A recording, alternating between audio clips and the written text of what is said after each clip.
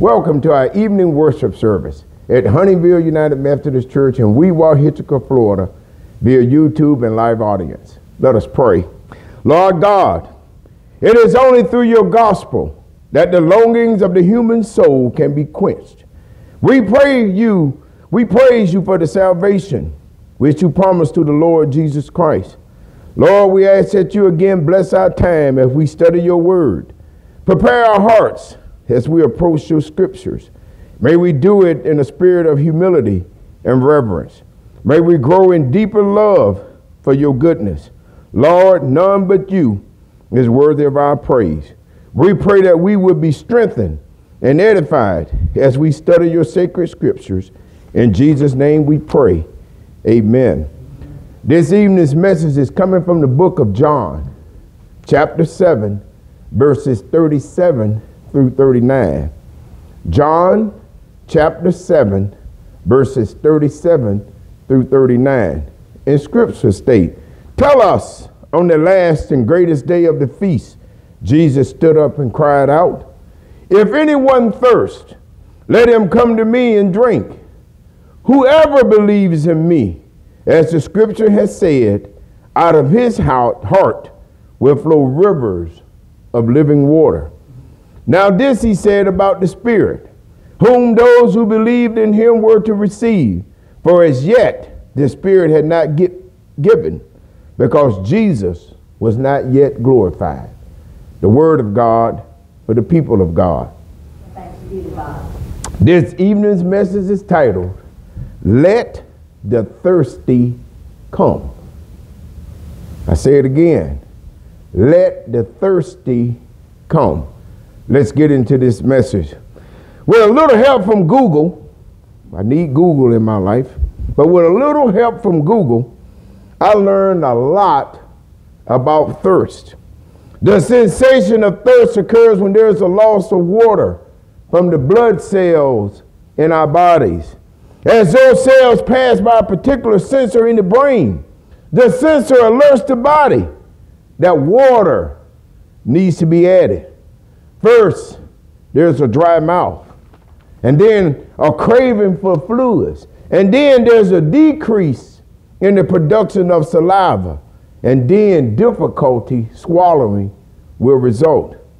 If the body still does not get the liquid it needs, it begins to suffer dehydration. The skin becomes dry and wrinkly. A fever develops, sweating stops, kidneys shut down, and death can be the end result. But you know, the things that surprised me the most from my Google research is that dehydration takes place with the loss of only 8% of the body's water content. And under normal conditions, with no water intake, we can lose 2.5% of our body's water content per day. Wow. We need to be careful cutting the grass. Or if you're out on that tractor, Miss Jean, you need to be careful. You can be dehydrated and not even know it. Now, maybe we can better understand at least now two of the Israelites' complaints with Moses while in the desert. And I'm going to go over two of them. First, in Exodus 15, we know that after passing through the Red Sea, the Israelites entered the desert, and for three days, for three days, they could not find any water.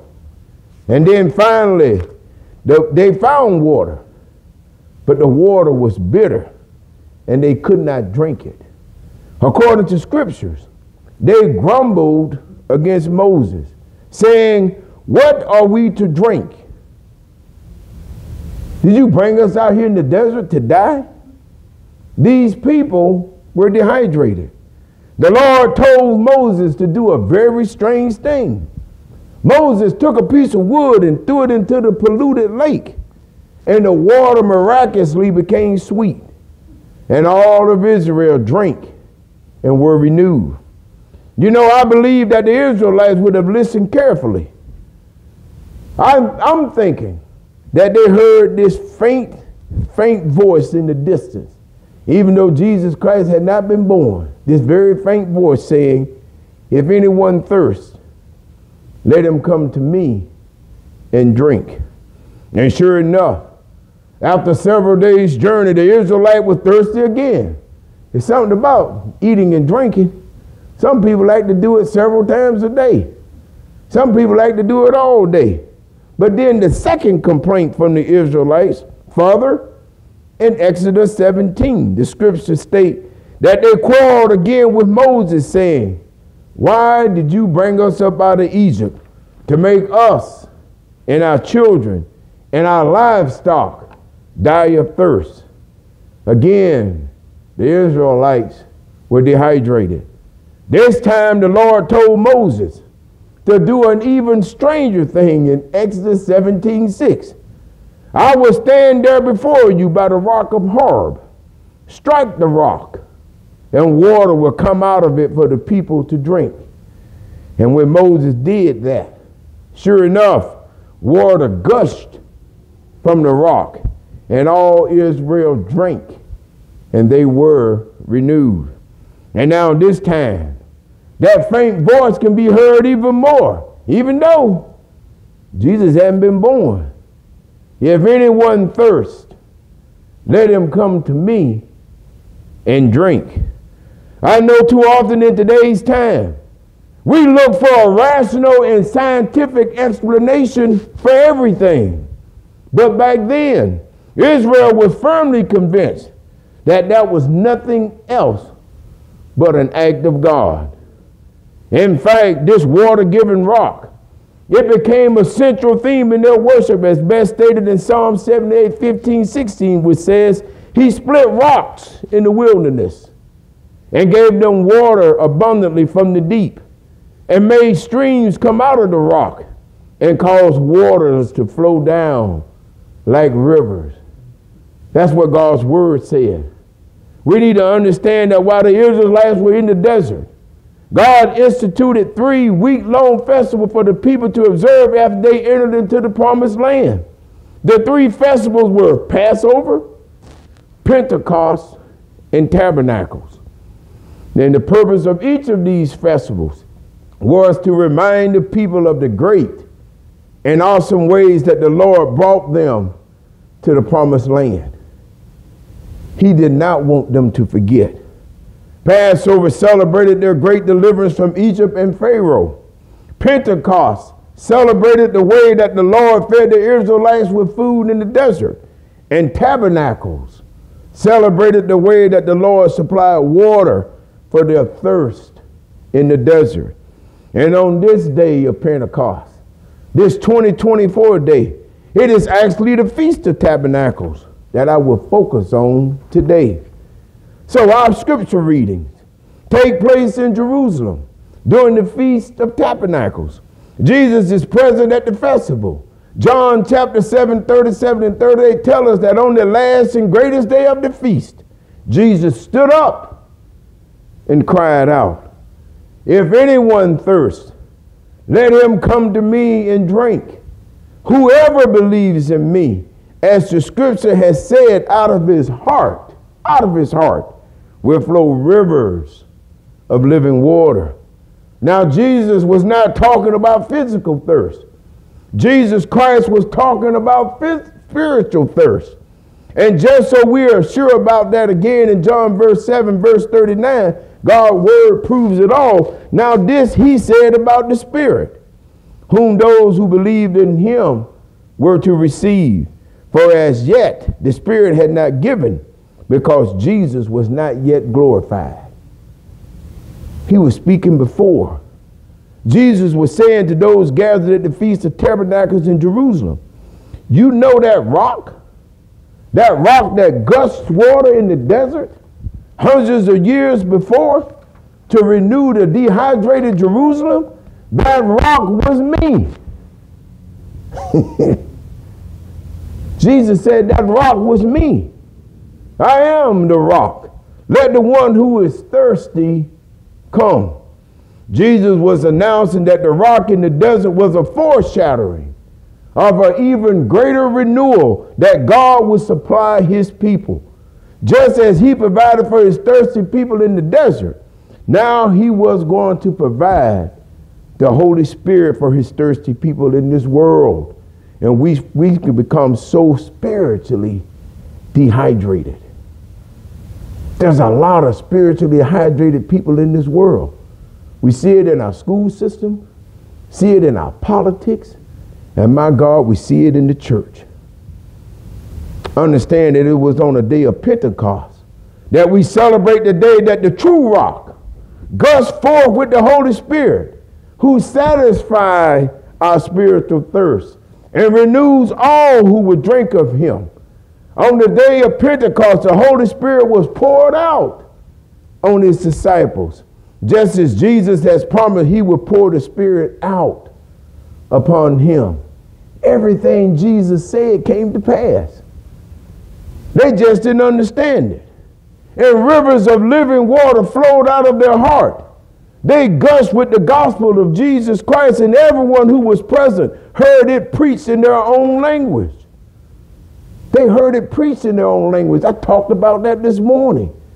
During the festival of Pentecost, just as during the festivals Passover and Tabernacles, men and women from the east, men and women from the west, they were present in Jerusalem.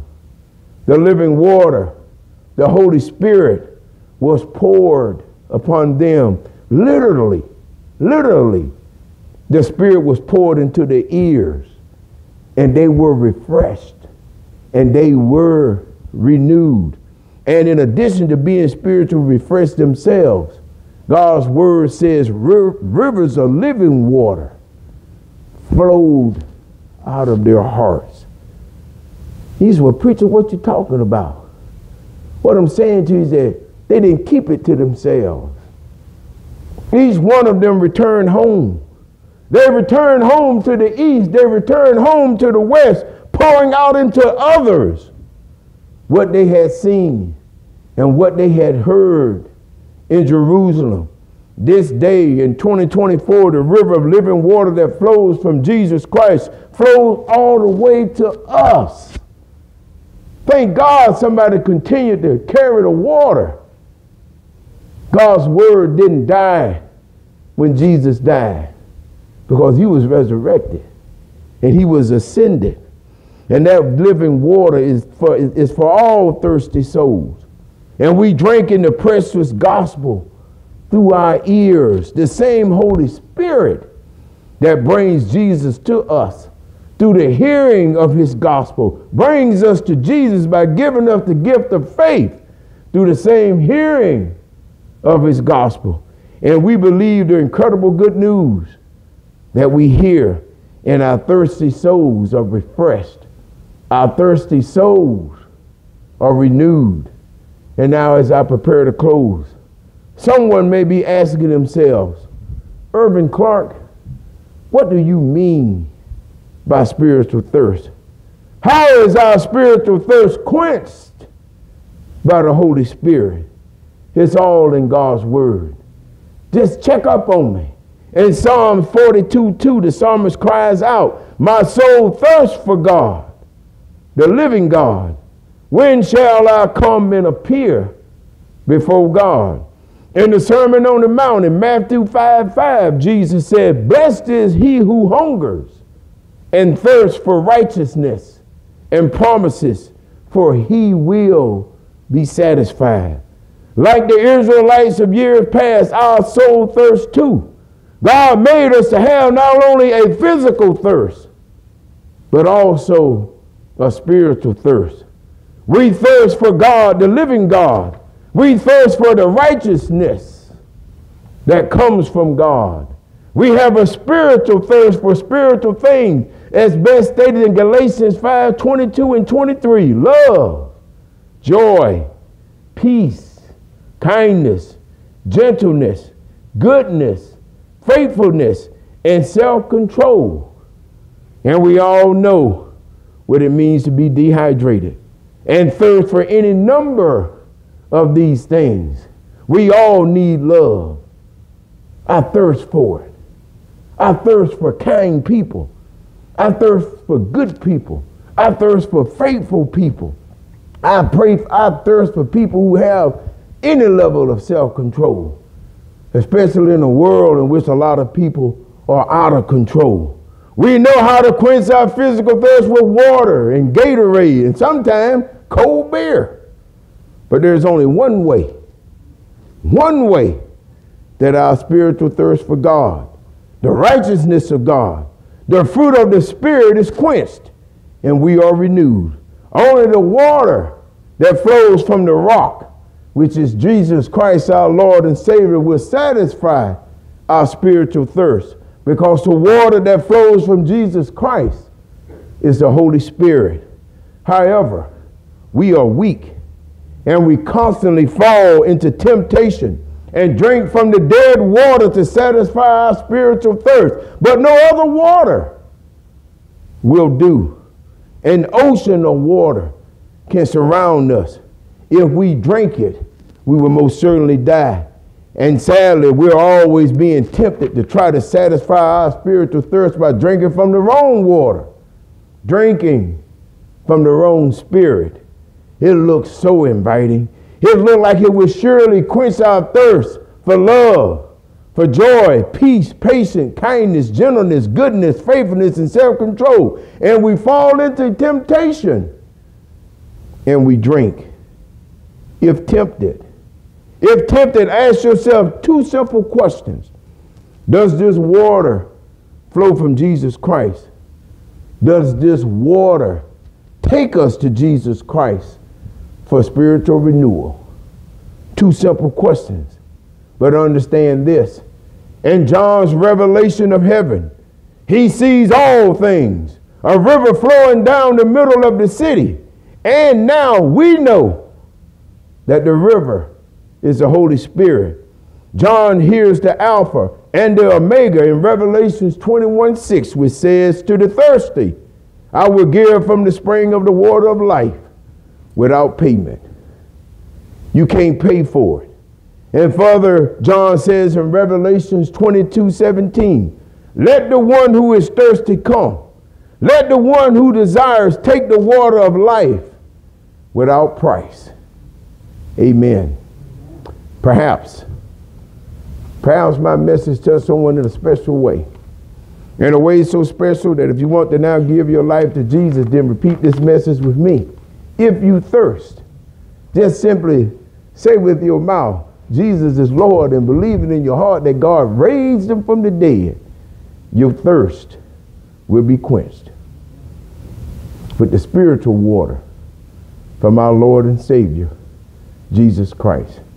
And now, as I bring this message to a close for those on YouTube, Jesus invite believers, those who know their need to come to Him, which means aligning oneself with Him, trusting Him, receiving His teaching, and obeying his commands. When we believe, when we believe, we open our hands to receive that God's grace. We come and we drink. Amen.